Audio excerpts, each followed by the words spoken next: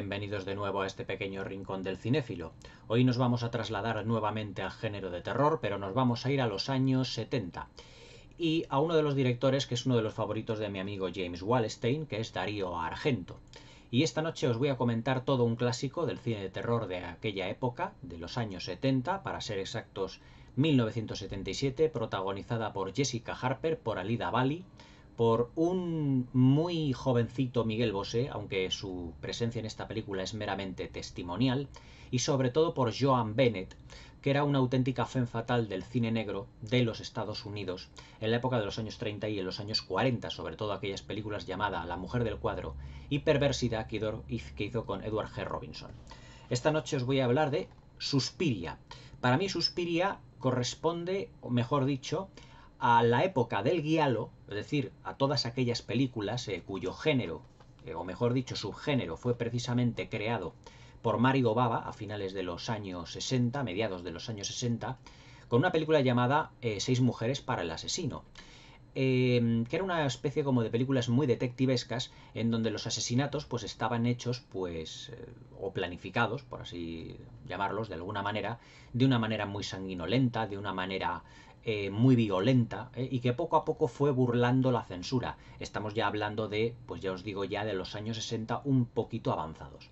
Pero ya dentro de los años 70, Darío Argento, prácticamente lo que es no el padre del guialo, el padre del guiario es Mario Baba, el director de La Máscara del Demonio, que la tenéis comentada aquí hace poco, se puede decir que dio un paso más en lo que se refiere a este subgénero y lo convirtió más en un cine más, más de, además de asesino en, serio, asesino en serie y además con, con tintes detectivescos, aquí los tintes detectivescos ya iban desapareciendo poco a poco y vamos, íbamos dando paso precisamente a lo que eran pues eh, los asesinatos mucho más premeditados, más violentos, más sanguinolentos, en pocas palabras, como más gore, ¿sabes?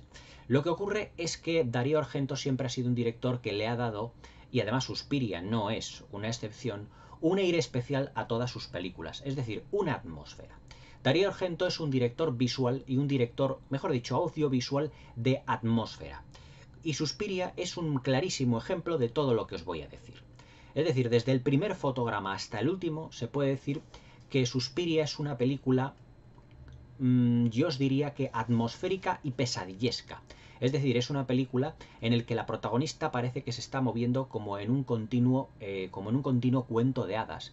Es una película en donde las sombras, en donde los juegos de luces, en donde los colores tienen un especial dramatismo. Al igual, por ejemplo, que en films como en el Ice White Shot, de, por ejemplo, de Stanley Kubrick, y en tantas otras películas en donde los colores también forman un papel muy importante. Acordaos, por ejemplo, de las primeras películas de la Hammer, que es un ciclo que se que estáis eh, deseando que se continúe con él y que no os preocupéis porque voy a continuar con él y además en profusión. Pero con Darío Argento digamos que el guialo toma una nueva dimensión en lo que se refiere a violencia explícita, en lo que se refiere a la utilización de la cámara eh, para captar o para planificar los asesinatos de la manera más violenta posible. La verdad es que Suspiria tiene uno de los asesinatos más violentos que yo he visto en, una película realmente impresionante y es justamente casi al principio de la película. Eh, de Jessica Harper yo la verdad es que os puedo decir poquito porque es una actriz que yo la he conocido la he conocido en muy poquitas películas norteamericana, pero sí que os puedo decir, por ejemplo, de que las otras dos protagonistas del film, que son Alida Bali y Joan Bennett, fueron dos grandes actrices tanto del cine italiano como del cine norteamericano en los años 40, los años 50 y durante los años 60. Pero este no es el este vídeo no es el objetivo de contaros un poco cuál es la biografía o cuáles han sido la carrera cinematográfica tanto de Joan Bennett como de Alida Bali, sino que nos vamos a centrar directamente en lo que es el cine de Darío Argento. El cine de Darío Argento es un cine pesadillesco.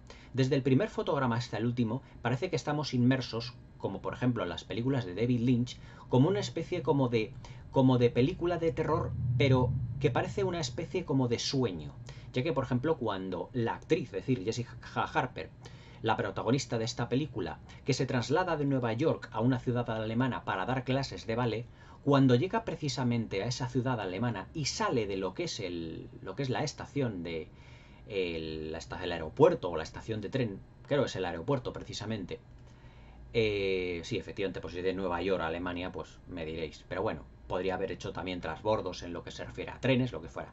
Pero sale del aeropuerto, se encuentra pues con una ciudad alemana que está completamente desierta. Está lloviendo, los juegos de luces cobran un gran protagonismo, incluso cuando ella coge un taxi, hay una gran variedad cromática de juegos de luces cuando ella está dentro sentada en el asiento de atrás del taxi. De color rojo, de color azul, de color amarillo, verde, decir, toda una serie de, de luces, toda una serie de luces cobran protagonismo cobran protagonismo en lo que se refiere a todo lo que es la evolución de no es la evolución de su personaje, sino la manera en la que está focalizada el personaje, es decir, lo que son sus miradas, lo que son eh, la manera en la que está sentada en el, en el asiento de atrás del, del, del, taxi, todo lo ve como una especie de como, de como de pesadilla muy fantasmagórica. Incluso el taxista, el taxista al que le dice lléveme a la academia de danza, parece que no le atiende parece que no entiende perfectamente lo que le está diciendo. Y a continuación vemos, eh, vemos cómo el taxi está llegando a esa academia con esa fachada rojiza, pero antes vemos un plano además que es como si atravesase un bosque, un bosque como muy denso, súper denso, y que hay una especie como de sombras que se van moviendo de una manera muy extraña. Yo, por ejemplo, en esa, en esa secuencia de las, eh, de las sombras, eh, me acuerdo mucho, por ejemplo, de la película de, de, de Carl Theodor Dreyer, de Vampir, precisamente cuando el protagonista está eh, recorriendo la zona alrededor de la, de la, caseta, donde, del pequeño castillo donde él está, y pues hay una serie de, sombras, de personajes, de hadas, mm, que están como recorriendo la zona. Es decir, es como si el personaje de Jessica Harper estuviese entrando como en un mundo de fantasía, en un mundo pesadillesco en el que nada es lo que parece. Y cuando llega allí nadie la reconoce. Pero hay una chica que sale completamente despavorida de la academia, completamente despavorida, y llega a un ala del edificio de la, de la, de la escuela de danza, de, donde empieza a gritar que ha descubierto un gran secreto. Un gran secreto que seguramente, como ya sabréis muchos de, vosotros, es el secreto de las brujas, ya que Suspiria es la primera parte de una trilogía que hizo Darío Argento, que Suspiria, que tenía la madre Suspiriorum, luego Inferno, eh, y luego la tercera película no me acuerdo cómo se llama, pero eran los nombres que estoy seguro que si os vais al vídeo de James Wallstein, que os explica muy bien estos tres, estos tres conceptos, lo vais a entender perfectamente. Lo que pasa es que, claro, yo no he seguido excesivamente la carrera de Darío Argento en lo que se refiere a, en lo que se refiere, eh, a, estas brujas eh, que estaban en diferentes partes del mundo. Pero se puede decir que Jessica Harper llega a una academia eh, que está liderada precisamente o que tienen en cuerpo prácticamente insepulto, o sea, en de cuerpo presente a una bruja que tratan de resucitar. ¿Eh? que es, una, es la bruja que se supone que es la madre suspiriorum. La chica pues entra en lo que es el entre lo que es la mañana siguiente de lo que es el, la academia de, de, danza y le dice por parte de una de las profesoras, Salida Bali, que es imperdonable que evidentemente no la hayan dejado entrar. Pero previamente, eh, previamente a todo esto, la chica que había salido de la, de la, del edificio gritando, he descubierto un... No, no, no he descubierto, sino sé el secreto o secreto y la palabra lirios entra en un ala donde están, o se supone donde están también todas las chicas durmiendo, todas las chicas durmiendo, pero ella es asesinada, porque ha descubierto el secreto seguramente de la bruja o de las brujas que están precisamente en esta escuela de danza. Y es que estamos ante una película que realmente los personajes eh, lo que son Alida Bali, Joan Bennett y, todas las, y todos los eh, especímenes que hay allí, ¿eh? un niño con un aspecto muy terrorífico que recuerda a lo mejor hay veces al niño del resplandor, pero en plan, mm, digamos, más terrorífico. Eh, una serie como de, como de, señoras mayores que parecen gitanas con un moño, que parece que hipnotizan por completo a, las, a las estudiantes y que además luego por la noche les dan para beber una especie como de vasito que parece auténtica sangre que las deja completamente noqueadas. ¿Para qué? Para que si hay alguna de las chicas que haya descubierto el secreto de Madre Suspiriorum, pueda precisamente, pueda precisamente, como os diría yo, em, eh, puedan asesinarla, puedan asesinarla, pero evidentemente sin que las demás se enteren. Esta chica pues entra, llega al ala de lo que es el edificio donde están muchas de sus compañeras durmiendo. La fotografía es realmente impresionante, muy geométrica, es decir, aquí lo que es en el apartado técnico, eh, lo que hace Darío Argento es jugar con un montón de formas geométricas por todas partes, con un montón de formas geométricas, triángulos, cuadrados, también con muchos juegos de luces. Eh, las, eh, las, las, habitaciones de lo que son los dormitorios de las chicas están iluminadas de un, de un modo con colores rojizos, azulados, verdosos, las puertas parecen como de hace bastantes siglos, pero con una claraboya eh, muy, muy, muy misteriosa, que a su vez está iluminada de un modo totalmente distinto. Es decir, cada una de las estancias donde están las chicas allí está decorada de un modo completamente distinto, completamente distinto eh, a las escuelas que hemos visto nosotros en otras películas, por ejemplo, como las películas de Harry Potter. Es decir, todas ellas son como, como un ambiente muy pesadillesco. Entonces la protagonista va viendo como hay algo que no le cuadra, porque ella llega allí para bailar, pero una de esas gitanas rumanas pues la hace un reflejo con una especie como de triangulito dorado. Y le entra como una especie de, de debilidad. Llaman a un médico y este médico le dice que tiene que beber pues todas las noches pues una especie como de vaso de vino que realmente es un somnífero. Y su compañera, su compañera de, de, ¿cómo se llama esto? Su compañera de, de piso, sí, de apartamento, se puede decir, va descubriendo poco a poco el secreto porque ella no está, por así decirlo, eh, drogada. Lo va descubriendo precisamente de la siguiente manera. Siempre eh, que se va a dormir empieza a oír como gritos, pasos, susurros. Eh, es decir, es como si la academia de danza por la noche se transformara en un ente completamente, como os diría yo, en un ente completamente paranormal en un ente completamente paranormal donde, donde nada es lo que parece y empiezan a ver sombras, oír pasos, oír risotadas. Eh, y entonces, claro, se da cuenta de que algo no está ocurriendo, algo normal no está ocurriendo allí. Y es cuando tiene en cuenta pues el segundo asesinato que vemos precisamente en la película. El primero ha sido realmente brutal. La chica, ya os digo, de, esta, la que ha salido del principio de la película gritando secreto, lirios, etcétera, porque el lirio lo que va a tener efectivamente va a ser eh, un resultado, mejor dicho, ¿cómo os diría yo? Va a ser como una llave especial de una puerta de entrada a donde está la Madre Suspiriorum, ha descubierto el secreto de que efectivamente allí intentan resucitar a una auténtica bruja. Entonces va recurriendo las varias estancias hasta que se encuentra con un asesino que en ningún momento le vemos la cara y le va clavando puñales por todo el cuerpo. Incluso hay una secuencia que ya ha pasado la historia del cine, de las más gores que yo he visto, que es que hay un eh, que está el corazón de la chica completamente al aire y vemos como un puñal lo atraviesa. O sea, es una imagen pues realmente dura, muy dura de ver, durísima. Y entonces esta chica pues es ahorcada, eh, ahorcada completamente con una especie de como de cable y entonces echada precisamente en una claraboya. La claraboya no aguanta el peso de la chica y cae completamente por su propio peso ahorcándose. Y la chica que quería pedir ayuda a sus demás compañeras, que evidentemente están drogadas, completamente todas están dormidas, eh, también es asesinada.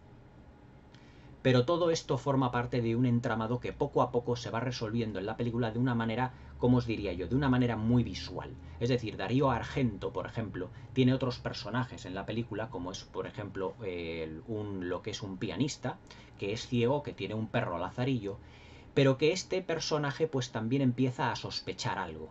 Y entonces el fantasma, se puede decir así como de la bruja, de la Madre Suspiriorum, que está recobrándose, recobrándose porque las brujas que están en la o las personas que están dirigiendo la academia de danza quieren resucitarla, transforman una especie como de espíritu y poseen al perro para que mate a ese señor en plena calle. Pero fijaos esa secuencia como está planificada, porque en la calle no hay absolutamente nadie.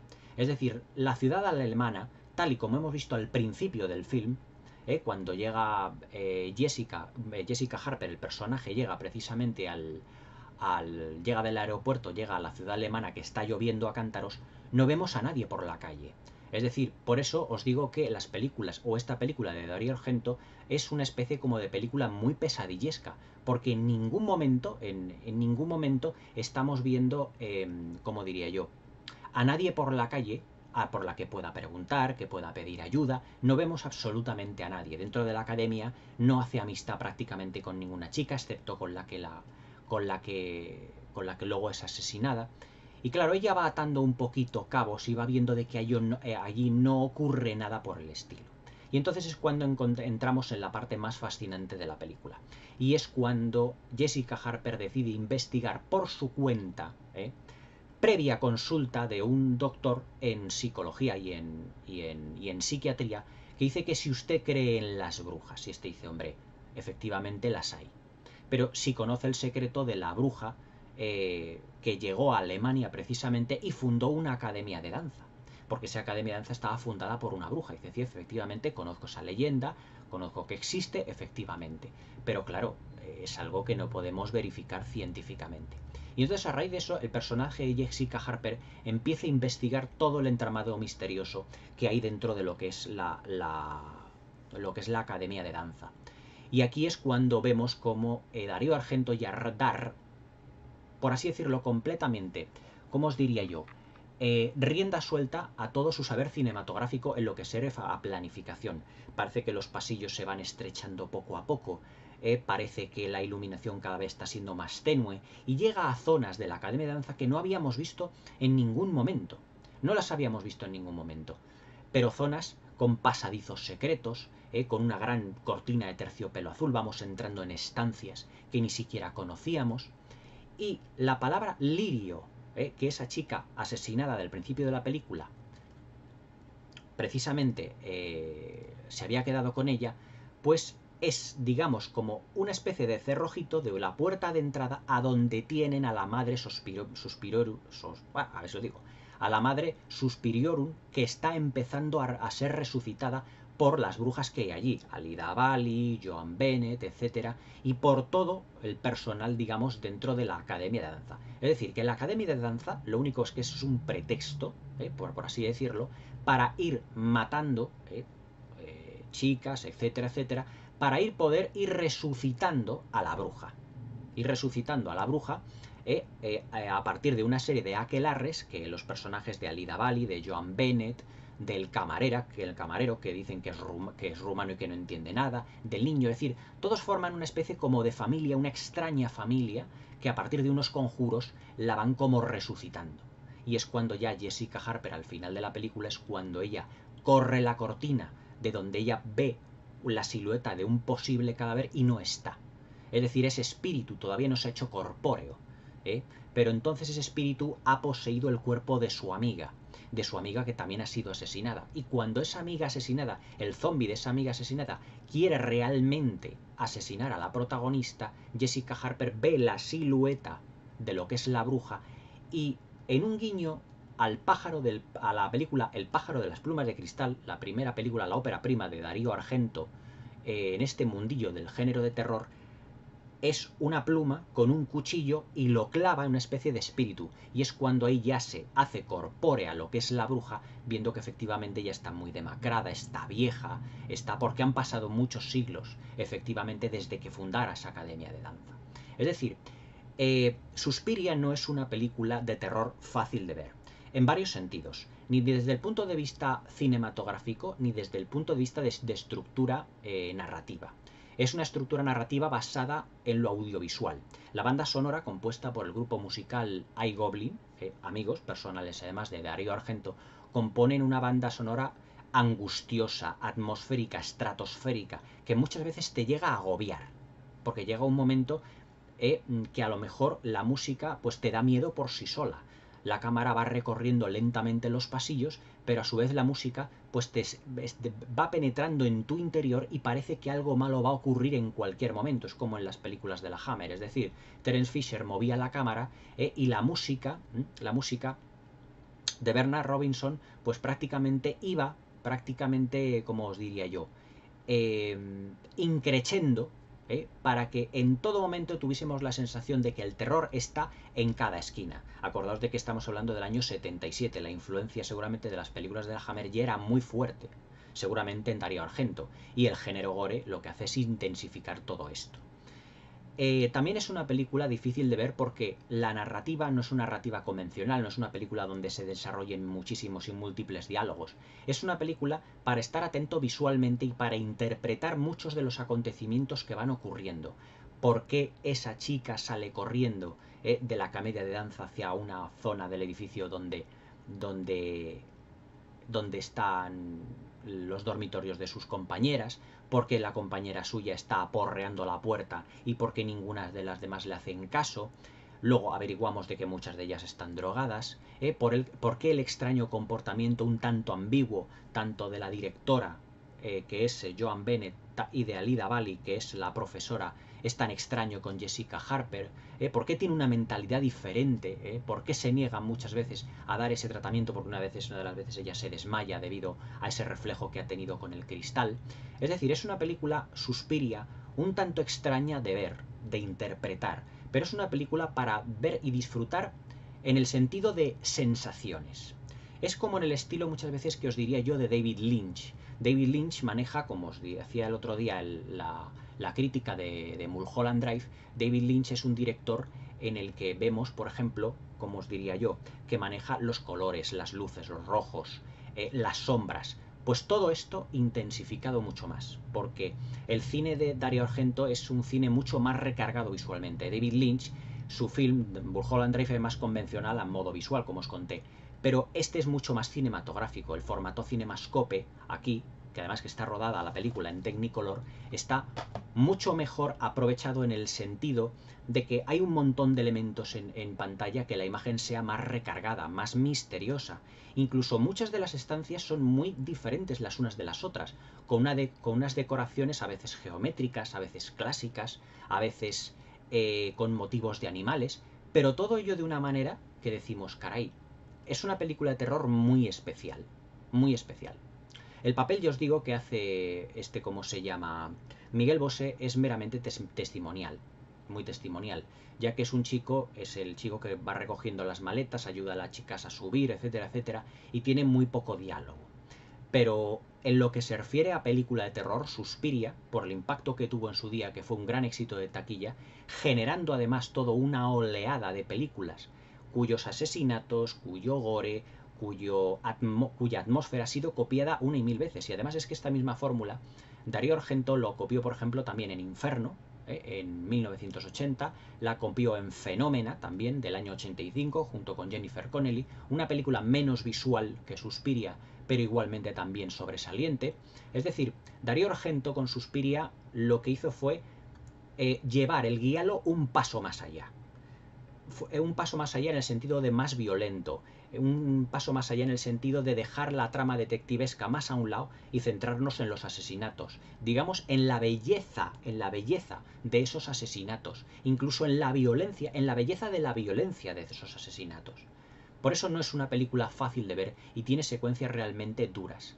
Y evidentemente es una película en donde los decorados eh, son, eh, cobran un protagonismo sin igual. Es decir, todo lo que es la Academia de Danza es prácticamente, podría decir, el gran, el gran decorado que tiene o el gran protagonista de toda la película. Está lleno de, recovecos, de estancias, de pasillos, de escaleras y todo ello le da una importancia dramática. ¿eh? porque no sabemos en cualquier momento dónde puede aparecer el bien, el mal, dónde puede aparecer el asesino, eh, qué es lo que puede ocurrir con las chicas que vienen y van, que suben y que bajan, quién puede fallecer, quién no. Eh. Los juegos de luces cobran un, protagonismo extraordinario. Por ejemplo, hay una secuencia donde mm, del techo empieza a caer de la comida eh, rancia que tenían pues una especie como de larvas. Y entonces deciden las chicas, la directora, que todas duerman en el piso completamente de abajo, alrededor todo, además eh, todo cubierto como de sábanas. Entonces cuando las luces se apagan, pues se ven las siluetas de las chicas metidas en las camas, todo de una belleza visual realmente impresionante. Por eso os digo que os va a impresionar si no la habéis visto.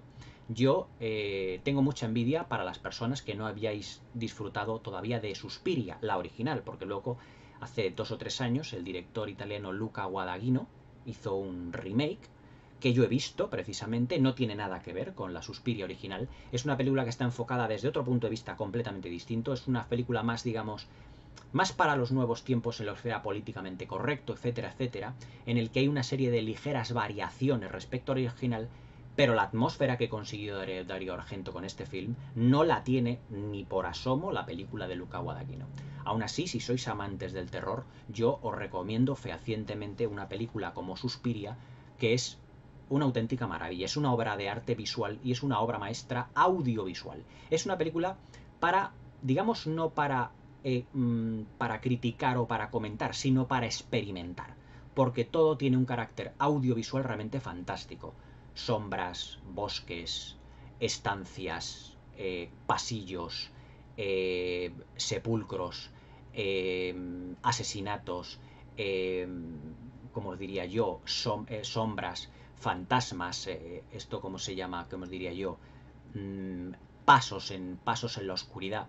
Es una película muy fantasmagórica y muy pesadillesca. Os la recomiendo fehacientemente, pero eso sí, la original. Suspiria de Darío Argento. Espero que os haya gustado la, la, crítica porque para mí es una obra maestra del cine terror. Una de las mejores dentro de su subgénero. Incluso casi dentro del género de terror diría yo. Espero que os haya gustado, que la veáis, que me comentéis aquí abajo y que os suscribáis al canal. Hasta mañana.